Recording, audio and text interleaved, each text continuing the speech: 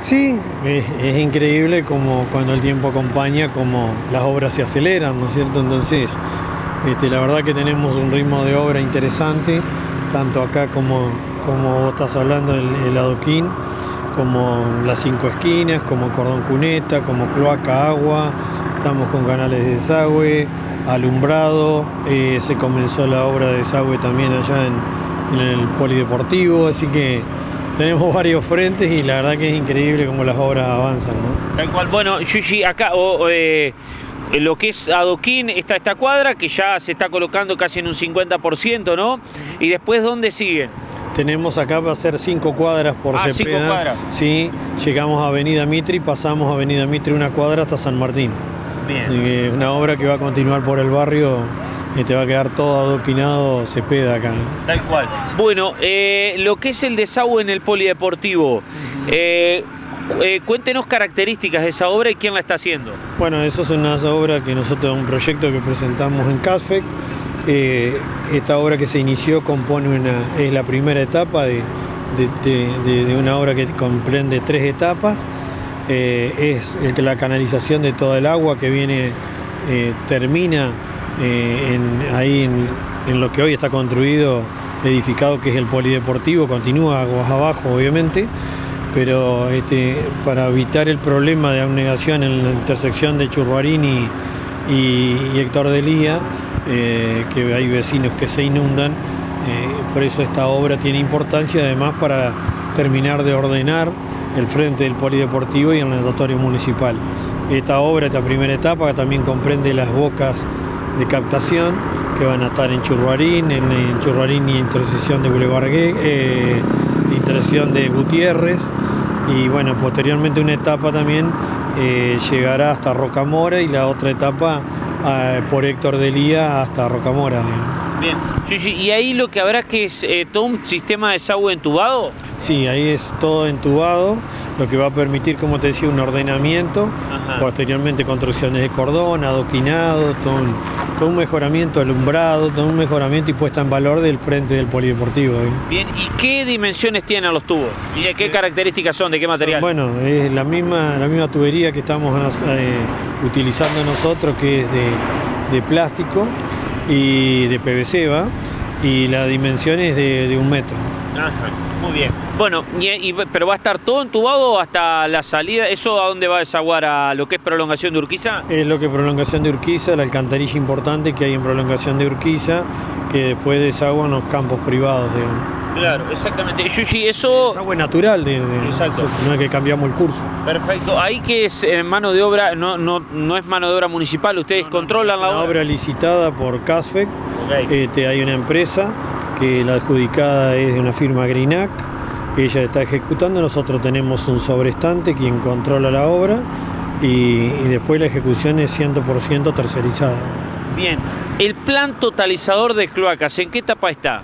Bueno, eso está avanzando bien, creo que está en un 100% ya lo que va por, por pendiente, Eh, se está en la construcción de la sala, hoy están por probar un segundo tramo de lo que es impulsión. Y bueno, después se tendrá que hacer el recambio de lo, de lo que no anduvo y continuar con, con el tendido de lo que falta, digamos, de impulsión. Sí, no estoy al tanto, Yushi, de qué no anduvo, o sea, no sé cómo es la cosa. Bueno, hubo una cierta cañería que, que nosotros en su debido momento planteamos que, entendíamos que no iba a andar y de hecho no anduvo.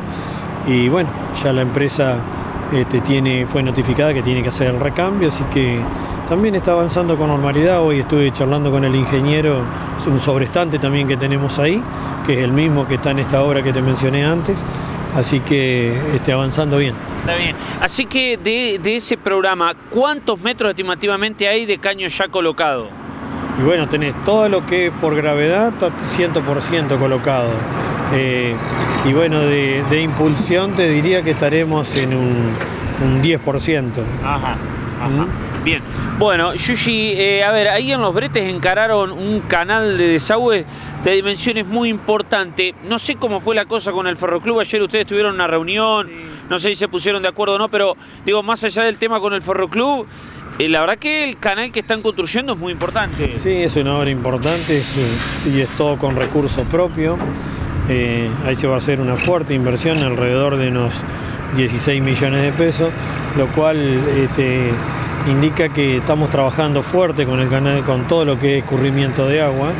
Así que sí, tuvimos una reunión con el Ferroclub poniéndonos de acuerdo cómo interactuar y cómo trabajar en conjunto, porque este, charlábamos con los chicos que hay que trabajar en conjunto y no en discordancia, porque no les sirve ni a ellos ni al municipio.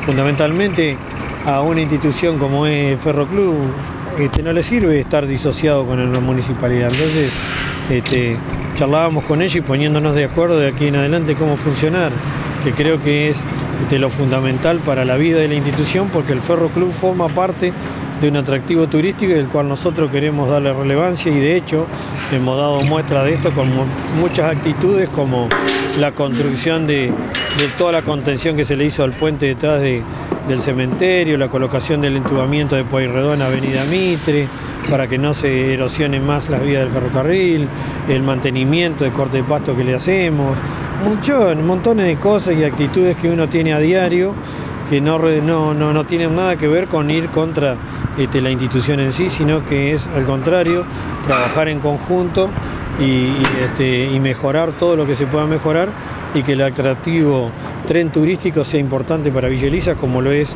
otros atractivos que podamos tener. Yushi, ustedes ahí dieron plena garantía de que después las vías, los durmientes y demás, todo va a quedar como estaba. Pero eso es, una cuestión lógica, Cristian. Yo no puedo ir a desarmar un, bien sin pensar siquiera que se me ocurra no, no, no dejarlo establecido como estaba. Es decir, tiene que quedar restituido como está o mejor. Entonces, a mí, para mí eso es una pregunta, digamos, sinceramente, porque los chicos me lo hacían, era su, verdadera preocupación. Pero yo digo, chicos, ¿cómo se me va a ocurrir a mí desarmar algo que, después no lo voy a armar y sé que se lo está utilizando? Así que este, eso a mí me tiene totalmente tranquilo, que nosotros nunca fue pensado en desarmar y, no volverse a, restituir, digamos. Bueno, Yushi, hablando del canal en cuestión, ¿Qué cara allá? Ahí, el agua que va a llegar ahí, ¿de qué zona es todo el barrio Los Bretes? No, eh, lo que nosotros estamos tratando ahí de captar es este, todo lo que viene de allá de San Francisco de Sales, que termina ingresando por Alvarado y Arenales. Eh, cuando vos tenés una, una fuerte precipitación, haces un relevamiento ahí, tenés un fuerte ingreso de agua por estas calles que te mencionaba. Entonces lo que vamos a captar ahí es todo ese ingreso. Posteriormente vendrán otras obras complementarias que veremos si podemos bajar calle Rieten para seguir mejorando con todo el tema de desagüe y que esta agua que te estoy diciendo vaya este, hacia los bretes. Ajá, ok, bueno, y realmente tiene dimensiones importantes. Ahí, Yushi, ¿ese canal hasta dónde va a ir? Ese canal está previsto hoy hasta la calle Arturo Ilia este, y ahí se va a recambiar también la, cañería que está colocada hoy en Arturo Ilia para darle mayores dimensiones y se está cambiando también los niveles. ¿Y qué profundidad tiene más o menos? Y alrededor de unos 3 metros. Ah, 3 metros, bien, bien, bien. ¿Va a ser importante el curso de agua? Sí, va a ser importante, tenemos que tratar de contener para no tener derrumbes. Así que bueno, vamos a trabajar un largo tiempo ahí. ¿Y antes ahí por dónde desaguaba? Y bueno, esto todo venía a Plaza Moreno. Y después ah. ingresaba a la planta urbana, que es lo que queremos tratar de evitar, fundamentalmente, ¿no? Ok, ok, Gracias, Yuji.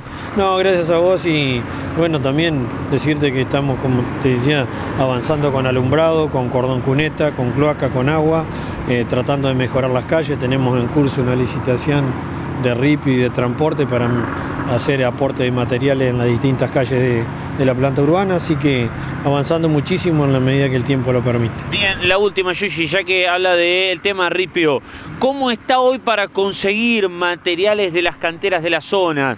Eh, con toda la suba de cuestiones, no sé, a ver, un viaje de ripio, ¿en cuánto anda más o menos? Y bueno, hoy el, metro de ripio está alrededor de 1.100, 1100 pesos el metro. Pero no es cuestión del precio, sino que estamos complicados con la provisión de materiales de todos los áridos, arena, piedra, ripio, brosa, todos, no solamente el municipio, sino las empresas particulares. Hoy hablábamos con Lugrin, con la arenera Lugrin y están muy complicados. ¿Pero por qué? Y porque no tienen provisiones, por falta de combustible, laburan mitad de tiempo, este, bueno, todas las temáticas que tenemos, vos verás en las estaciones de servicio a veces los líos que tenemos, muchos días sin, sin provisión de combustible y bueno, eso hace, eso repercute también en las canteras y, y nos repercute a nosotros en la, en la provisión de materiales. ¿no? Gracias. ¿eh? Gracias a vos y hasta otro momento.